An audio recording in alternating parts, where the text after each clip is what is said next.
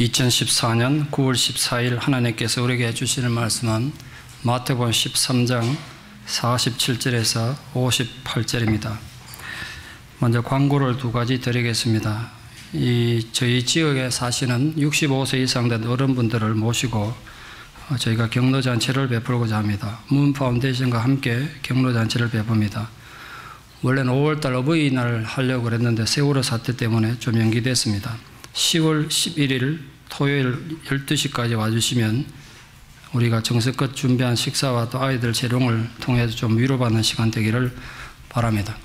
제가 지금 한국일보에 칼럼을 쓰고 있는데 많은 분들이 좀 연결이 안 된다 그래서 기자분하고 인원해서 매월 셋째 주, 넷째 주 두 번 칼럼을 쓰기로 했습니다. 한 달에 한 번 써갖고는 도대체 감이 안 잡힌다. 그래서 좀 자주 쓰기로 했습니다. 참고해 주십시오. 오늘 본문 말씀을 봉독에 올리겠습니다. 또 천국은 마치 바다에 치고 각종 물고기를 모으는 그물과 같으니 그물에 가득함에 물가로 걸어내고 앉아서 좋은 것은 그릇에 담고 못된 것은 내버리느니라. 세상 끝에도 이러하리라. 천사들이 와서 의인 중에서 악인을 갈라내어 풀무불에 던져 넣으리니 거기서 울며 이를 갈리라. 이 모든 것을 깨달았느냐 하시니 대답하되 그러하오이다. 예수께서 이르시되 그러므로 천국의 제자된 서기관마다 마치 새 것과 옛 것을 그 곳간에서 내오는 집주인과 같으리나 예수께서 이 모든 비유를 마치신 후에 그곳을 떠나서 고향으로 돌아가서 그들의 회당에서 가르치시니 그들이 놀라 이르되 이 사람의 이 지혜와 이런 능력이 어디서 났느냐? 이는 그 목수의 아들이 아니냐? 그 어머니는 마리아 그 형제들은 야고보 요셉 시몬 유다라 하지 않느냐 그 누이들은 다 우리와 함께 있지 아니하냐? 그런즉 이 사람의 이 모든 것이 어디서 났느냐 하고 예수를 배척한지라. 예수께서 그들에게 말씀하시되 선지자가 자기 고향과 자기 집 외에서는 존경을 받지 않음이 없느니라 하시고 그들이 믿지 않음으로 말미암아 거기서 많은 능력을 행하지 아니하시니라. 아멘. 몇 주 전 제가 설교를 통해서 LA 폭동 사건에 어려움 겪었던 한인들에 대해서 말씀을 드렸습니다. 정직하게 tax 보고하지 않아서 피해 입은 그런 사람들이 있다고 말씀드렸습니다. 그렇다고 해서 모든 한인들이 다 그러진 않았으리라 생각합니다. 그 가운데 정직하게 세금 보고하고 열심히 사시다가 피해 입은 분도 계시지 않겠습니까? 그러니까 여러분도 너무 또 해결해서 함부로 비판하는 일은 없기를 바랍니다. 여러분 생애에서 지금껏 살아오시면서 겪은 가장 큰 위기가 무엇입니까? 사업이 망해서 재산 다 잃어버린 그런 경우였습니까? 아니면 사기를 당했을 때입니까? 자식이 속을 썩일 때였습니까? 불치병 걸렸을 때입니까? 아니면 끔찍한 배신을 당했을 때입니까? 뭐 이런 사건 다 모두 힘든 경우 맞겠습니다만 그것들이 결코 우리 인생의 최대 위기는 아닙니다. 저는 오늘 본문을 통해서 우리가 우리 인생 최대 위기를 겪는 것에 대해서 함께 좀 고민해보고 묵상하려고 합니다. 왜 제가 예수님 천국 비유의 마지막 결론을 내리면서 제목을 인생 최대 위기로 정했는지 궁금하지 않으십니까? 전혀 안 궁금한 표정이십니다들. 천국에 대한 예수님 마지막 교훈은 바다에서 고기 잡는 이름하여 거물 비유입니다. 여기 등장하는 거물은 뭐 손으로 던지는 작은 거물이 아니라 두 배 양끝에 고정시켜서 바다 밑을 끌고 다니는 저인망을 말합니다. 그 저인망은 바다 깊은 것을 훑고 다니기 때문에 말 그대로 모든 종류의 물고기를 포함합니다. 그러니까 먹을 수 있는 좋은 물고기 분명히 있을 거고 먹지 못하는 나쁜 고기도 분명히 같이 걸려들겠죠. 요즘은 쥐포가 인기입니다. 저도 쥐포 아주 좋아합니다. 안 줘서 못 먹습니다. 그러나 얼마 전만 해도 쥐포는 고기가 자그만해서 재수없다고 어부들이 잡으면 다 갖다 버렸습니다. 그러나 그거는 지금은 농부들이 아주 큰 수확원이 된다고 그럽니다. 그것처럼 어부들이 일단 고기를 다 잡아 모아가지고 바닷가 와가지고는 쓸모없는 고기를 다 내다 버렸다는 거예요. 천국이 그런 곳이란 거예요. 무슨 뜻일까요? 아시다시피 예수님 제자 중에 최소한 일곱 명은 어부 출신입니다. 예수님께서 이 비유 말씀하실 때 아주 실감나게 이해하고 받아들였을 겁니다. 아, 우리가 그렇게 살았으니까. 근데 천국은 그런 그런 거예요. 거물 비유는 천국이 어떤 점을 우리에게 가르쳐 주는 것이겠습니까? 언뜻 보기에는 내용이 알곡과 가라지 비유와 좀 비슷한 내용입니다. 다른 점이 있다면 가라지 비유는 가라지가 언제 우리 밭에 뿌려졌는지 모른다는 것이고 오늘 이 거물 비유에서는 원래부터 좋은 물고기 속에 나쁜 물고기가 있다는 걸 알고 시작했다는 그 차이죠. 똑같은 점은 최후의 심판에서 분리된다는 선과 악이 분리된다는 공통점이 있습니다. 그래서 우리가 거물 비유를 좀 제대로 이해하기 위해서는 각각의 상징을 좀 정리할 필요가 있습니다. 분명히 바다는 세상을 상징합니다. 각종 물고기는 하나님 나라에 들어갈 대상이 온 세상의 모든 인종과 민족이 다 포함된다는 걸 상징합니다. 그러니 거기에는 선악의 구분 없이 모든 사람이 다 모여들 수 있음을 나타내는 거죠. 배의 거물은 세상에서 사람 낚는 어부로서의 역할을 담당하는 교회를 상징합니다. 교회는 사람을 가리지 않고 다 받아들여야 되는 하나님 공동체입니다. 그러다 보면 당연히 그 안에 의인만 있는 게 아니라 악인도 함께 섞여 들어오지 않겠습니까? 그래서 금을 비유는 교회의 현대적 역할에 대한 굉장히 중요한 가르침과 교훈과 경고를 담고 있습니다. 거물이 온갖 종류의 물꼬를 다 나는 것이 분명히 모든 종류 사람을 다 초청해야 되는 교회의 의미를 생생하게 묘사해 주고 있습니다. 다양한 민족이, 다양한 인종이 함께 더불어 사는 이민사회 미국 같은 데는 지금 당연한 얘기겠습니다만, 그러나 이 설교가 처음 선포되던 당시에는 정말 혁명적인 말씀이었습니다. 왜냐하면 헬라 세계는 신분의 장벽이 정말 엄격했기 때문에 그렇습니다. 헬라인과 야만인의 구분, 자유인과 노예의 구분은 더 엄격했겠죠. 또 헬라인은 특별히 유식한 사람, 무식한 사람을 굉장히 구분했습니다. 그 신분의 벽이 굉장히 두터웠죠. 유대인들은 이 헬라인들보다 더 견고한 인종차별의 장벽을 갖고 있었습니다. 유대인과 이방인의 차별은 우리가 지금 상상을 초월할 정도로 높은 장벽이 있었습니다. 남자와 여자 사이 장벽도 굉장히 높았습니다. 가장 심각한 건 율법을 지키는 사람과 지키지 못하는 사람, 선과 악의 구분은 우리가 상상을 초월할 정도로 아주 심각했습니다. 그런데 예수님 거물 비유는 모든 종류가 거물에 낚이는 것처럼 천국이란 너희들이 생각하는 저 소수의 선택된 사람이 가는 게 아니라 모든 민족이 초청의 대상이 되는 곳이다. 그게 거물 비유다. 그렇게 말씀해 주셨습니다. 그렇게 교회는 하나님 나라가 온갖 종류의 물고기를 낚는 그물과 같다는 사실을 잊으면 안 됩니다. 그래서 필연적으로 오늘 거물 비유는 교회가 가진 현실적인 문제점에 대한 엄중한 교훈을 우리에게 주고 있습니다. 무슨 말인가 하니 교회는 의인만 있는 게 아니라 악인도 분명히 함께 존재하는 곳이라는 겁니다. 교회에 대한 가장 흔한 비난이 교회 다니는 사람들 왜 그러냐, 뭐 그거 아니겠습니까? 교회 다니는 사람들 왜 그래 못됐고 악하게 살고 비도덕적이냐, 뭐 그런 공격 아닙니까? 근데 어떤 부분에서는 우리 경험적으로 보면 교회 안의 사람들이 교회 밖의 사람들보다도 더 비도덕적이고 비윤리적이고 더 미성숙한 건 사실입니다. 우리 그렇게 공격당한다. 그 아니라고 말할 수 없어요. 그게 사실이니까. 우리 경험해 보지 않습니까? 그런데 이런 비난은 이미 예수님도 들었다는 사실을 잊지 마십시오. 소위 메시아라는 사람이 자기 제자를 갖다가 매국노로 불리는 세리를 두질 않나. 그리고 주변에는 온갖 죄인들, 심지어는 창녀들까지 온갖 악한 사람들 친구로 등장하니까 어떻게 그런 사람 말을 믿겠냐? 저런 예수를 어떻게 믿겠냐? 뭐 저게 예수라는 사람이고 저게 뭘 앞비고 저게 메시아냐? 그걸 비난받은 겁니다. 그런데 예수님께서 그런 비난을 받으실 때 대답하셨다 유명한 대답 아시죠? 우리 이미 배우셨습니다. 건강한 자에게는 의문이 쓸데없고 병든 자에게라야 쓸데있느니라. 이런 병원에 병든 사람이 가득하다고 병원에 병신 많다고 병원 욕하는 거 욕한 사람은 나쁜 겁니다. 병원에는 원래 환자가 가고 병자가 가는 거 아니겠어요? 그게 병원의 목적입니다. 교회는 영적인 병원입니다. 당연히 상처 있고 문제 많은 사람들, 인격적으로, 성격적으로 타고난 문제 많은 사람들이 오는 곳이 교회예요. 그걸 착각하시면 안 돼. 상처입은 사람들이 치유받고 문제 많은 사람들의 문제가 해결되도록 도와주는 것, 그것이 교회의 가장 중요한 존재의 목적입니다. 그렇다면 그물이 온갖 물고기를 다 거두어들이는 것처럼 교회에는 온갖 종류 사람이 다 있는 것 너무나 당연한 겁니다. 당연히 죄인들이 모여들 수밖에 없는 것이에요. 그 점을 여러분이 먼저 분명히 이해하셔야 되고 또 그걸 세상에 그렇게 알려야 된단 말이에요. 왜 교회가 세상에 이렇게 욕을 먹습니까?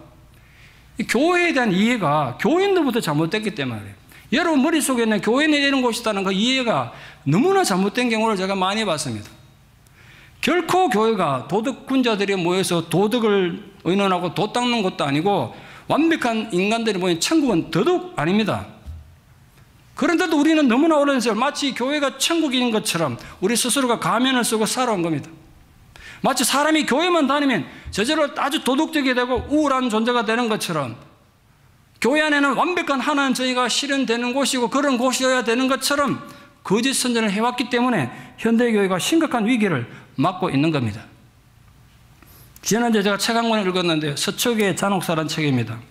한국에 갔다 오신 집사님이 주셔서 읽었는데 사랑의 교회 돌아가신 옥하는 목사님 아들된 옥성호 집사가 쓴 책입니다.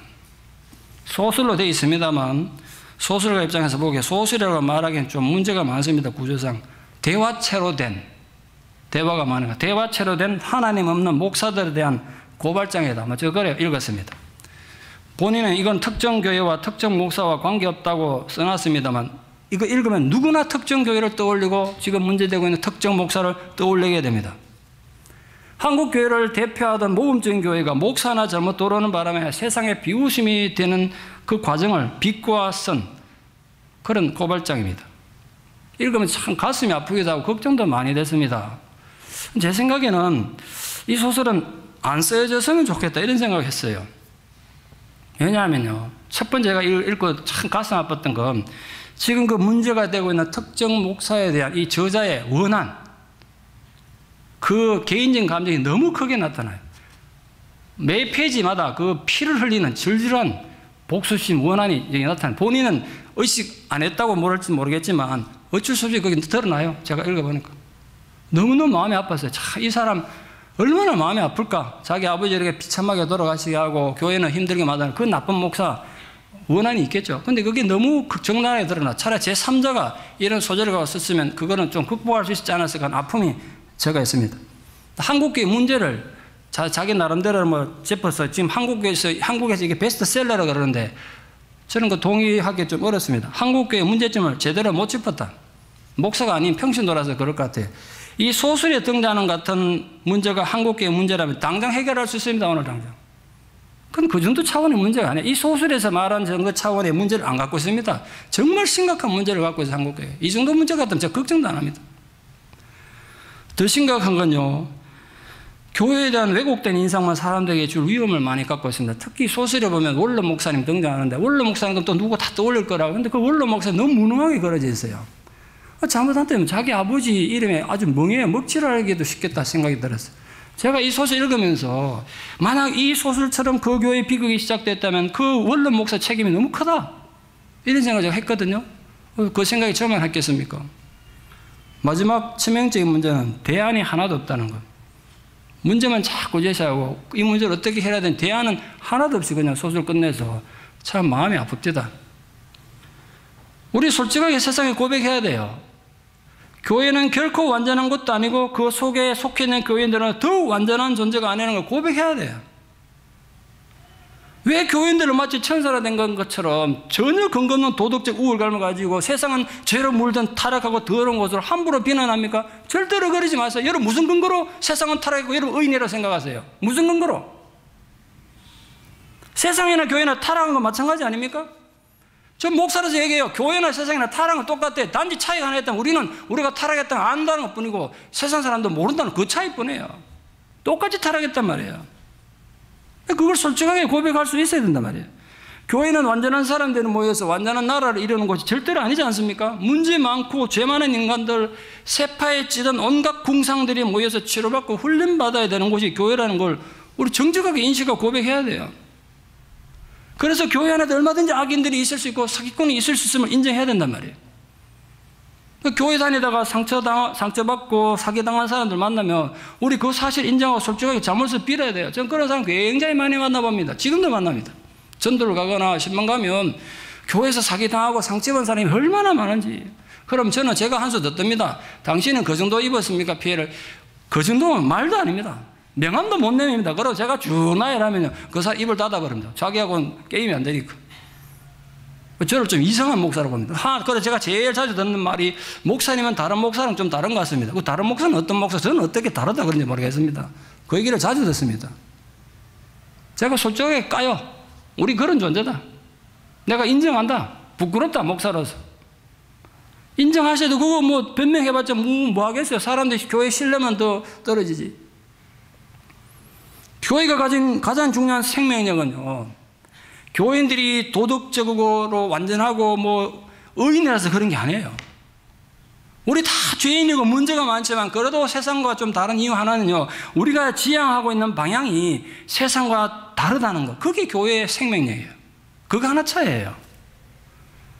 교인들 역시 여전히 문제가 많은 죄인들이고 교회 역시 세상의 모든 인간 단체처럼 한인의 단체처럼 문제 많은 곳이지만 단 하나 차이지만 그 죄인들이 지향하는 목적하는 방향이 하나님 나라를 향해 있다는 것. 오늘 이렇게 폼 잡고 그럴듯하게 설교하는 박상관 목사도 나가면 죄 짓는 문제 많은 인간이에요. 그러나 내가 문제 많은 죄인이고 인격적으로 문제 많은 걸 알지만 내가 하나 고백할 수 있는 건 그래도 내 삶이 하나님 향해 있다는 거. 그게 교회가 세상에서 딱 하나 내세울 수 있는 점이에요. 도덕적으로 절대로 큰 소리 칠 거 없는 거예요. 그런 점에서 비록 교회가 문제 많은 인간이 모여 있다고 해도 세상에서 이 의사 역할만 제대로 한다면 교회 안에 죄인이 많고 문제 많은 인간이 많고 사기꾼이 많아도 그건 부끄러운 게 아니라 영광이야 교회 영광. 왜 그런 인간들 와서 변화되는 곳이다 말이야. 세상에 병든 사람들이 죄 많은 사람들이 치료받고 회복되는 그 과정을 통해서 우리는 세상에서 하나님 나라가 존재한다는 걸 하나님 나라를 보여주는 창문 역할을 하는 게 교회란 말입니다. 그런데 그 다음 중요한 사실이 하나 있습니다. 고기잡이를 끝낸 배가 항구에 다다르면 좋은 물고기, 나쁜 물고기 구분하듯이 비록 교회가 지금은 온갖 사람을 다 받아들이고 사기꾼도 있고 못된 인간 다 있지만 언젠간 때가 되면 구분한다는 거. 때가 되면 선과 악을 구분한단 말이에요. 교회는 온갖 인간들이 다 섞여 있지만 언젠가는 의인과 악의를 구분한다는 사실. 그러나 그 선별 작업은 결코 인간의 권리도 아니고 의무도 아니라는 사실을 절대로 착각하지 마십시오. 그 누가 의인과 악인을 교회에서 구분하겠어요? 그 목사가 하겠어요? 장로가 하겠어요? 네, 여러분 하실래요? 누가 하겠어요? 아무도 못해요. 우리 가운데 진짜 의인이고 누가 진짜 악인인지 아무도 구분 못해요. 그건 오직 하나님만 할 수 있는 하나님 고유 영역에 누구도 침범할 수 없어요. 우리 그래서 심각하게 고민해야 될 문제는 이 선별의 과정이 나중에 죽고 나서 하나 앞에 가가지고 천당 가서 하는 게 아니라 지금 내가 살아있는 삶의 현장에서 진행된다는 겁니다. 우리가 하나님 나라에 받아들여질 선한 존재가 되느냐 아니면 버림받을 악할 존재가 되느냐는 건 지금 살고 있는 현재 삶에서 결정된다는 사실 그게 너무 중요한 거예요. 내가 예의 바른가 그렇지 않은가 의리가 있는가 없는가 친절한가 아닌가 동정심 있냐 없냐 정직한가 그렇지 않은가? 우리가 생존해 있는 지금 현재 삶에서 내 운명이 결정됩니다. 그러니까 여러분, 알게 모르게 여러분 매일매일 살아가는 그 삶에 여러분 자신을 심판하고 있는 거예요, 지금. 여러분, 여러분 심판하고 있다고요.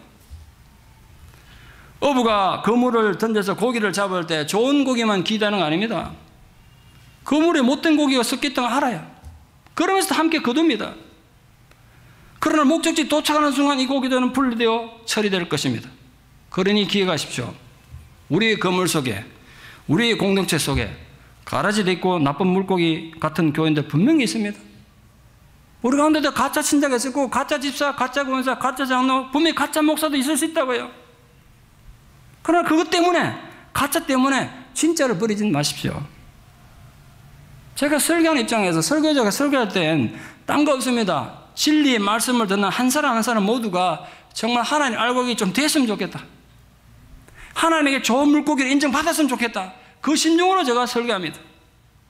이 설교된 여러분 중에 단 한 명이라도 아 내가 이래서 하면 안 되는구나 내가 정말 하나 앞에 선한 물고기 좋은 물고기 떼야 되겠구나 라고 결단한다면 저는 성공하는 겁니다 단 한 명이라도 그런 분이 생기기를 바랍니다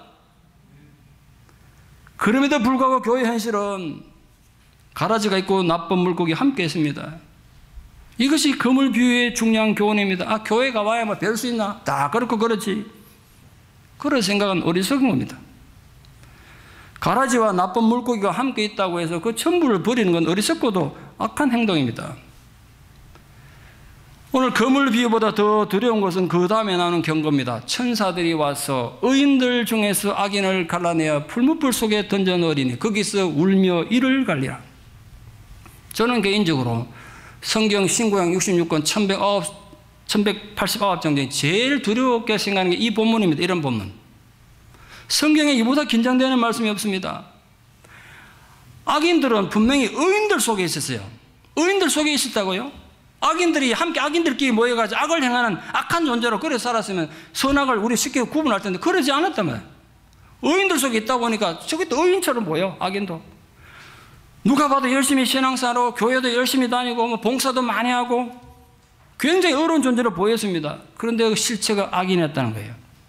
단지 의인들 속에 속해 있다 보니까 자신도 세상도 그가 의인인 줄 알고 속한 것 뿐입니다. 문제는 만약 여러분이 이런 존재라면 어떻게 하시겠습니까? 긴장되지 않습니까? 두렵지 않습니까, 여러분? 그렇게 여러분 정말 여러분의 목사로서 간절히 부탁드리는데 여러분 자신의 신앙을 뿌리부터 근본부터 다시 한번 점검해 주시기를 간절히 부탁합니다. 그런 생각 들지 않으세요? 그런 생각 여러분 마음에 정말 생기를 좀 바랍니다. 그래서 정말 진지하고도 처절한 마음으로 자신의 신앙의 기초를 다시 좀 점검해 보시기를 부탁합니다. 특히 여러분 중에 이민 와가지고 이민교회에서 처음 신앙생활 하신 분들 잘 들으십시오. 뭐 다 그런 건 아닐 겁니다만 제가 경험해보고 많은 사람 상담해보고 제가 얻은 결론이 하나 있는데 이민교회에 와서 신앙생활 처음 하신 분들 중에 한 번도 제대로 훈련받아 본, 본 적이 없는 분들이 아주 많더라는 거예요. 맨날 교회가 싸우고 찢고 뽑고 깨지고 욕하고 원망하고 불평하고 이런 가운데만 있다 보니까 제대로 된 훈련을 받아본 적이 없어. 그러면서 교회에 와가지고 일어나는 거야. 근데 나이 들어서 요단강 건너가기 직전에 대해서 그런 사람 어떡하죠? 여러분이 만약 그런 신앙이라면 어떡하실래요?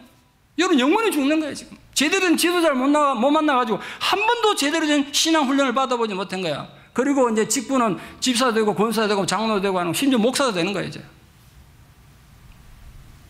나는 의인들 속에 숨어 있는 악인에 불과한 존재는 혹시 아닌가? 만약 그렇다면 나는 어떻게 해야 되는가? 아직 마지막 때가 아니므로 아직 기회가 있습니다. 아직 여러분의 생애의 최대 위기를 해결할 수 있는 기회가 있단 말이에요. 이 말씀에 귀에 들리십니까? 여러분 영혼의 귀에 들리십니까? 들린다면 반드시 반응해 주시기를 부탁합니다. 1982년 당시 14세 프랑스의 소녀였던 칼린카 밤베레스키는 아빠와 이혼한 엄마가 독일인 의사 디트 크롬바와 재혼하는 바람에 독일에서 살게 됐습니다. 그런데 독일을 간 지 얼마 되지 않아서 집에서 의문의 죽음을 당합니다. 친부였던 앙드레 밤베레스키는 의붓 아버지인 크롬바하가 자신의 딸을 성폭행하려고 약물을 과다하게 투여해서 죽음에 이르게 했다고 고발했습니다. 범인이 고, 독일인이고 그가 독일에 거주하고 있었기 때문에 독일 법정에서 재판이 열렸습니다. 그런 독일 법정 입장에서는 피해자도 프랑스인, 고발한 사람도 프랑스인. 그 재판이면 신경 쓰겠습니까? 재판을 건성으로 했겠죠. 그 재판을 몇년 걸쳐 했습니다만 심증은 가나 증거가 불충분하다. 이래가지고 1987 5년 뒤에 그냥 독일 법정에서 크론바우에게 무죄가 선고됐습니다. 아버지 입장에서 자기 눈에다 누워도 아깝지 않을 딸이 14살에 억울한 죽음을 당했는데 이럴 수가 있냐. 프랑스 법정에 다시 고발했습니다.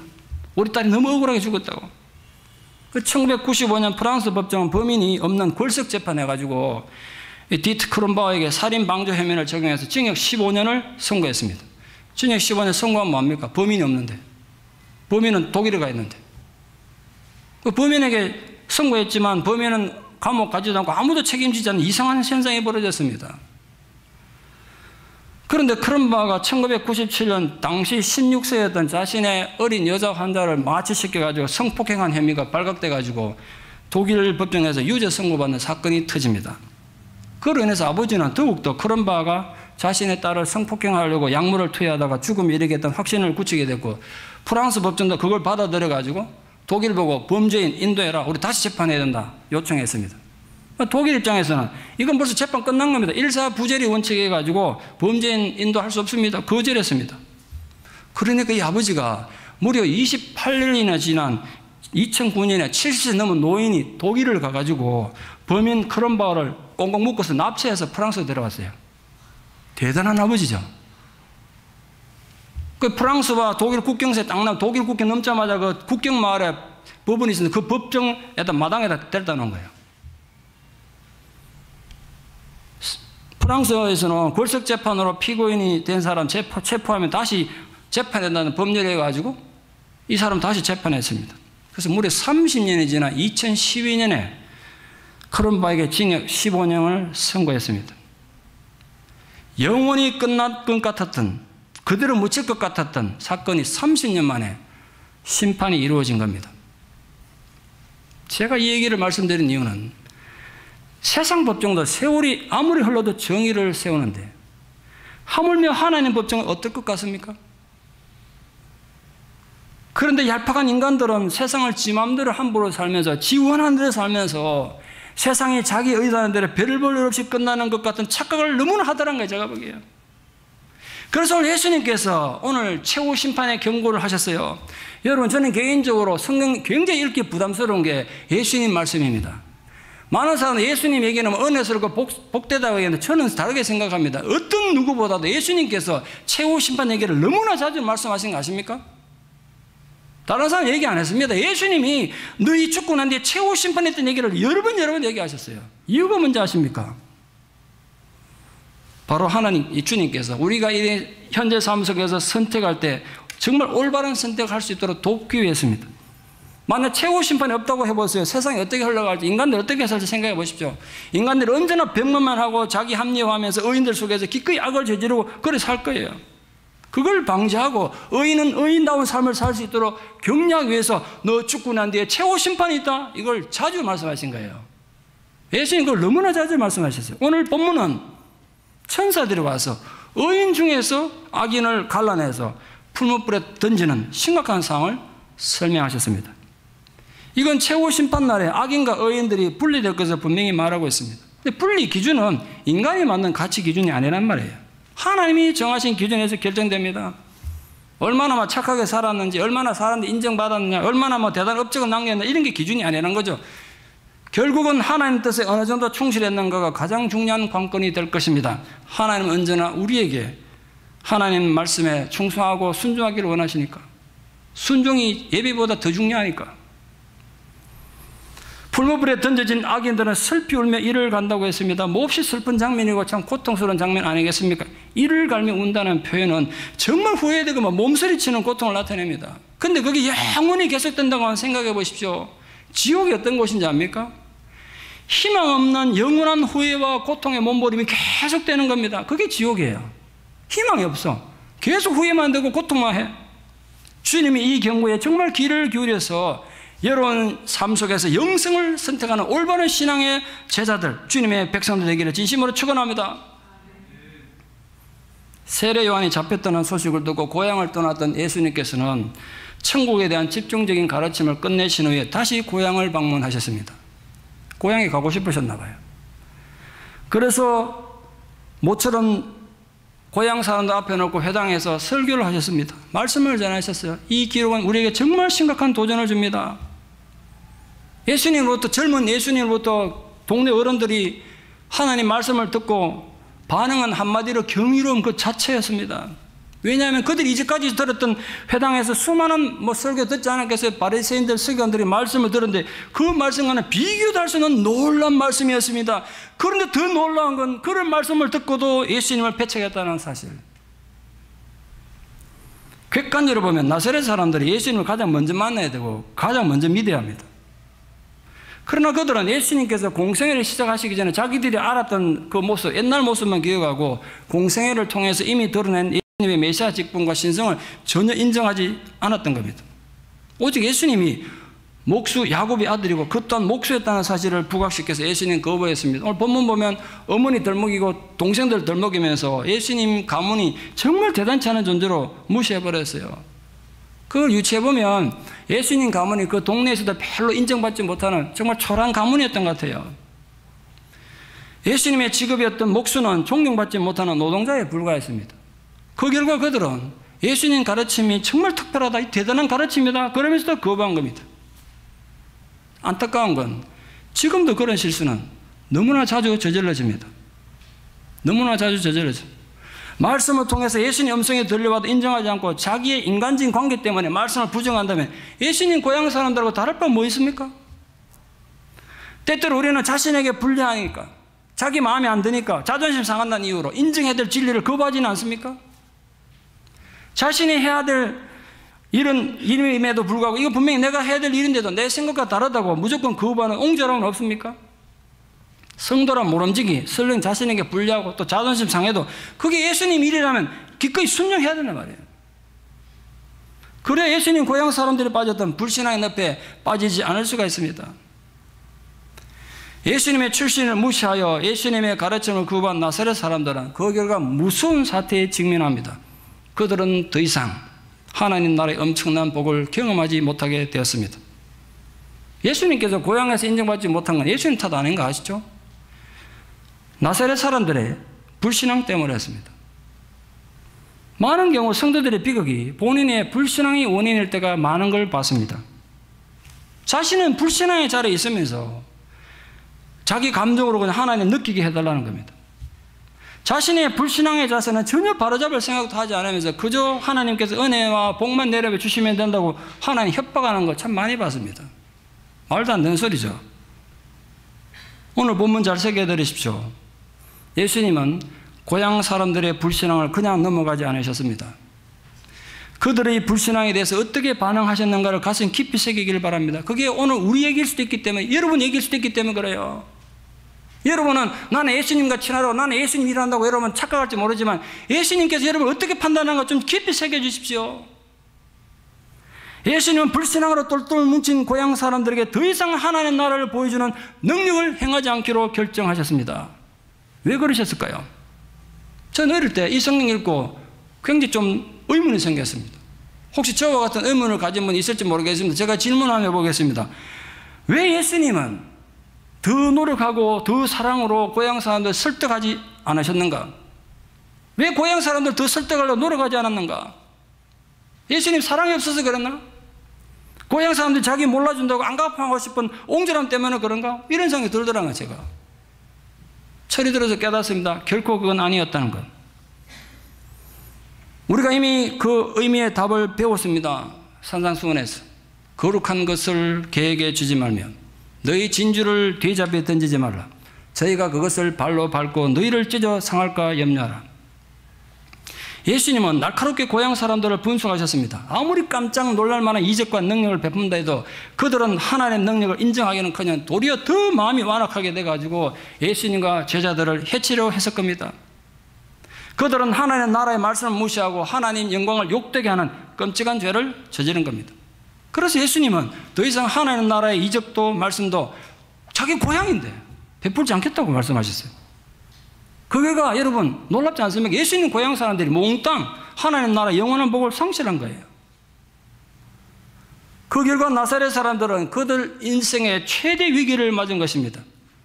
나사렛 동네 한 동네 사람들이 몽땅 그들 인생의 최대 위기를 맞은 이유가 뭡니까? 정말 역설적이게도 예수를 만났기 때문입니다. 예수를 만났기 때문이에요. 여러분은 예수님만 직접 만나고 예수님이 직접 내게 말씀해 주시면 내가 무조건 신앙에서 잘할 것 같으면 천만의 말입니다. 천만의 말. 여기 인생 최대 위기가 있습니다. 인간이 마주치는 인생 최대 위기는 정말 역설적이게도 예수를 만나는 순간에 닥쳐옵니다. 예수님과의 만남이 복이 되는 사람들도 있지만 도리어 인생 최대 비극이 되고 함정이 되는 사람들도 많습니다.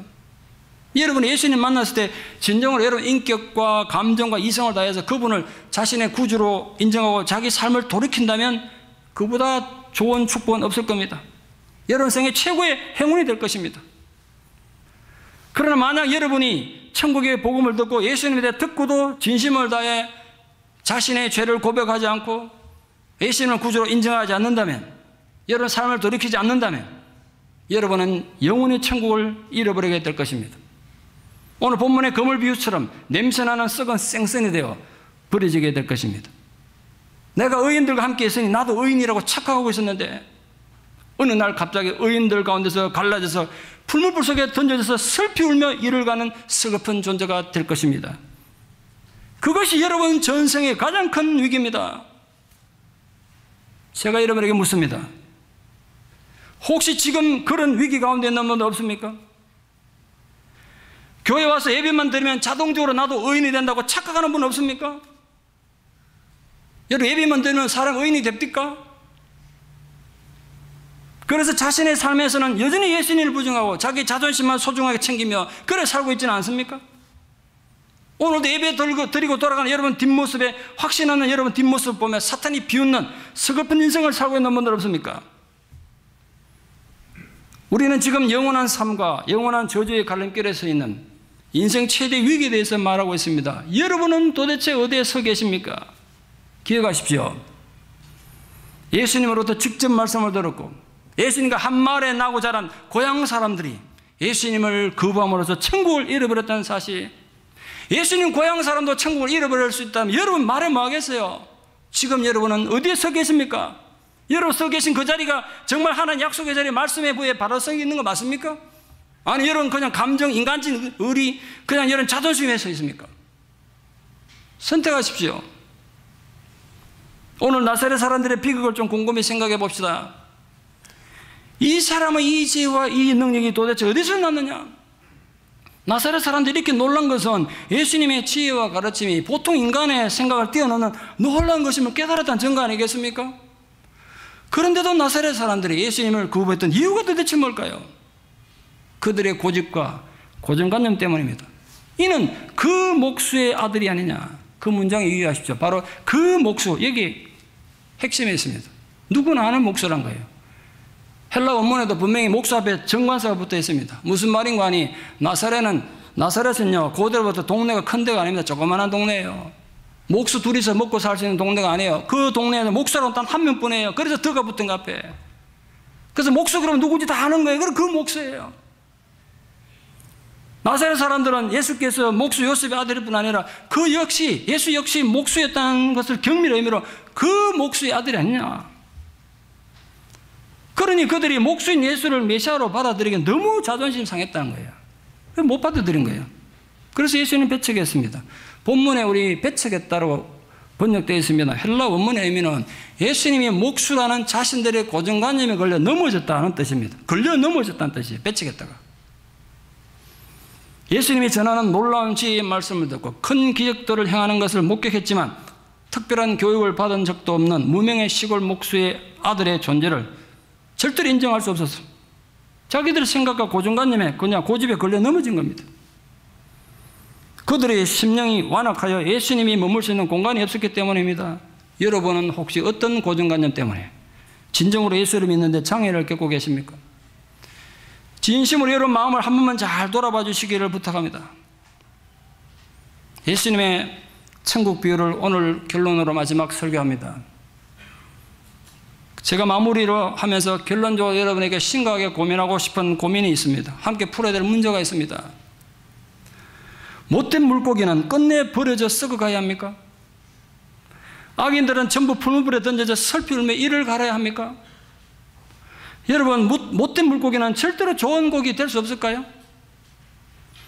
악인은 의인이 절대로 될 수 없습니까?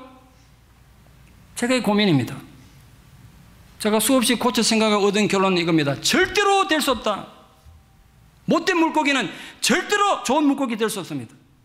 악인은 절대로 의인이 될 수 없습니다. 그러나 동시에 분명히 변화될 수 있습니다. 못된 물고기, 좋은 물고기 될 수 있고 악인이 의인이 될 수도 있습니다. 무슨 황당한 소리인가 싶죠? 왜 모순되게 말하는가 싶죠? 악인이 자신의 노력과 수행과 인간적인 방법으로는 절대로 변화될 수 없습니다. 절대로 안 됩니다. 많은 악인들이 내가 점차적으로 노력하면 지금보다 나은 의인이 되겠지. 그래 착각합니다. 착각입니다. 도덕과 복음의 차원을 모르기 때문에 하는 소리예요. 내가 좀 더 도덕적이 되면 의인이 될 것처럼 생각해. 천만에 도덕으로 될 것 같으면요. 인간의 생각과 방법으로는 절대로 악인이 의인이 될 수 없습니다. 이게 제 얘기가 아니고 성경의 정언입니다.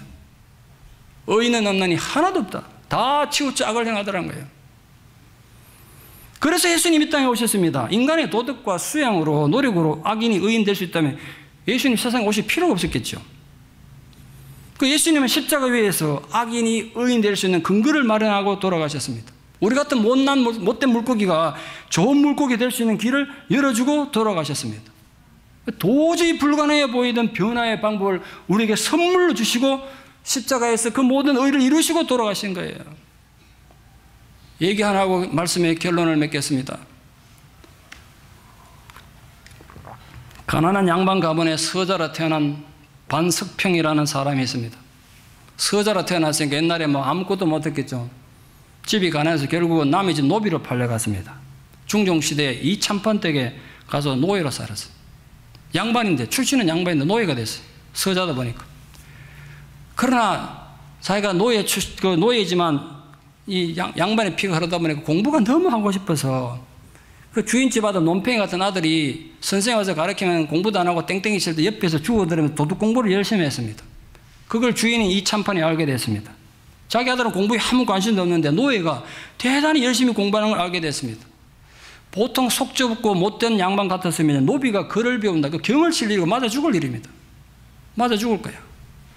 근데 이 이참판은 반석평의 그 열정을 기특히 이기고 그 사람들 알아보고 자기가 많은 돈을 들여가지고 노비 문수를 불태우고 가난한 몰락한 양반 집에 양자로 가게 해줬습니다. 양자 가서 양반을 되게 해준 거예요, 다시. 가난하게 했지만 양반 신문을 얻은 반석평은 열심히 공부해가지고 1507년 과거에 급제해서 관직에 나가게 됩니다. 관직에 나간 후에도 그의 성실성과 겸손한 덕목이 인정을 받아서 드디어 형조 판서까지 됐습니다. 중종 때. 요즘 말로 하면 법무부 장관 된 겁니다. 여러분, 조선시대의 그 엄격한 신문 질서 사회에서 노예가 한나라의 법무부 장관 됐습니다. 형조 판서 시절 반석평은 태청하고 집을 가다가 우연히 이제 앞뒤로 부하들이 쫙 서가지고 가마 타고 가지 않았겠습니까? 그때 길에서 누굴 만나냐면 자기를 노예에서 양반되게 해줬던 그 주인의 아들, 이참판의 아들이 거짓골로 해가지고 앞에 있는 걸 봤습니다. 가마를 멈추게 하고 자기는 지금 관복을 입었습니다. 병접판서 관복 입은 이 사람이 거지 같은 그 이호성 거지에 가가지고 무릎을 꿇고 큰절을 했어요. 주변 사람 깜짝 놀랐겠죠. 병접판사가 저 거지게 저 큰절을 하니까 무슨 일이냐. 그 바람에 이 사람 신분이 노비였다는 게 들, 들통났습니다. 중종에게 가서 자기가 구합니다. 전하 사실은 제가 노비 출신인데 이 참판을 어릴 때 원인으로 만났어. 제가 이렇게 양반 이름도 없고 오늘 이르렀습니다. 제가 죽음을 다해도 전하께 대한 불충은 갚을 길 없습니다만 저에게 이렇게 큰 은혜를 베풀었던 이참판 댁의 자제인 이호성에게는 벼슬 하나 내려주시고 제 목을 철하고 관청해요. 중종이 그걸 보니까 생각해 보시죠. 조선시대에 노비가 양반을 참칭하면 그 목이 잘라 죽는 거예요.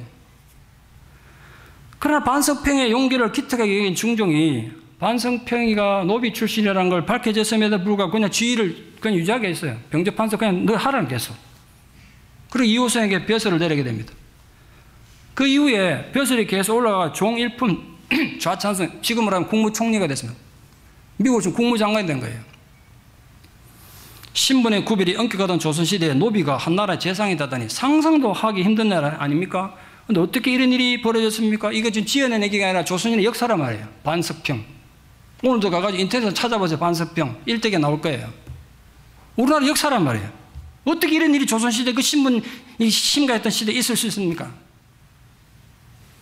그의 신분이 노비에서 양반으로 다시 태어났기 때문에 그래요. 그렇게 신분이 바뀌었다고 반석평은 인생을 함부로 살지 않았습니다. 자신의 원래 신분이 노비였다는 사실을 알고 평생을 겸손하게 살았습니다. 그래서 그의 인품이 모든 사람들의 존경의 대상이 된 거예요. 제가 생각해 봤습니다. 만약 그렇지 않았더라면 이게 내가 노비가 돼가지고 노비였는데 양반이 됐다. 드디어 내가 법무부 장관 됐다. 병조판사 됐다. 한이나 풀고 원한이 갑자기 인생 마음대로 살았으면 노비 신분이 탁 노출됐는데 장관 자리 절대로 그냥 있을 수 없을 거예요. 절대로 있을 수 없었어요. 그의 인격이 평소에 교만하고 악한 인간이었다면 아시다시피 조선시대에 당쟁이 얼마나 극심했습니까? 그 조선 중에 당쟁이 얼마나 극심한데 주변에서 가만히 있었겠어요? 조선시대는 아무리 왕이라고 해도 노비 출신을 재상자리에 앉혀줄 수는 없습니다. 신하들이 동의 못하면 못하는 거예요. 그 내가 그걸 생각해 보니까 반석평이 자신의 신분에 대한 감격과 고마움을 결코 잊지 않고 겸손하고 정직하게 살았기 때문에 주변 사람 다 신뢰받지 않았겠어요? 그래서 그 사람의 인생 최대 위기가 오히려 최고 영광스러운 순간에 대해서 조선의 역사에 반석평이라 이름을 남긴 거 아니겠습니까? 그 후손이 반기문 유엔 총장입니다. 우리가 어떻게 진정으로 변화될 수 있습니까? 다시 태어나는 것으로 가능합니다. 노예 같은 죄인이고 악인이었지만 하나님 자녀로 다시 태어나면 가능합니다. 그게 거듭나는 겁니다. 다시 좋은 고기로 태어나고 의인으로 태어나면 우리도 변화될 수 있습니다. 우리가 진정으로 내가 죄인인 것을 고백하고 예수 그리스도께서 나의 죄를 위해 죽으셨음을 믿고 받아들일 때 성령께서는 우리 마음 안에 우리 영혼 안에 영생의 생명의 씨를 뿌립니다. 그 순간 우리는 거듭나는 거예요. 그것도 우리 안에서 알곡이 자라가고 의인으로 자라가는 것입니다. 예수님의 천국에 대한 일곱 가지 비유의 결론은 이것입니다. 여러분도 진정 새롭게 거듭날 수 있습니다. 여러분도 알곡이 될수 있습니다. 천국의 알곡이 될수 있습니다. 부디 하나님 나라의 영원한 복을 상실하지 않기 위해서 날마다 자신을 돌아보고 하나님 말씀에 순종하는 하나님의 기쁨이 되는 자녀, 주님의 충성된 제자 되시기를 진심으로 축원합니다. 기도드리겠습니다. 하나님, 죽어 마땅한 죄인이었고 버려져 썩어 냄새날 나쁜 물고기였던 저희들이 이렇게 오늘도 천국의 소망을 가지게 된 이유는 주께서 저희를 위하여 죽으시고 우리를 하나님 자녀로서의 새로운 생명의 씨를 주셨기 때문입니다. 우리가 그것을 믿습니다. 그 신앙의 고백으로 우리도 새롭게 되기를 원합니다. 결코 우리가 그저 의인들 속에 숨겨진 악인의 삶을 살다가 우리 생을 끝내지 않게 하여 주시옵소서. 우리가 그물 속에 좋은 물고기에서 섞이는 나쁜 물고기로만 살다가 우리 인생을 끝내지 않게 도와주시옵소서. 비록 우리가 한때는 나쁜 물고기였고 한때는 악인이었을지라도 우리에게 아직 생명이 있을 동안에 우리에게 삶의 기회가 있을 동안에 성령의 도우심으로 우리가 진실로 변화되어 진정으로 충성된 하나님의 백성이 되고 주의 제자의 삶을 살아가는 주님의 기쁨이 되는 제자들 에게 도와주시옵소서 예수님 이름으로 기도드리옵나이다. 아멘.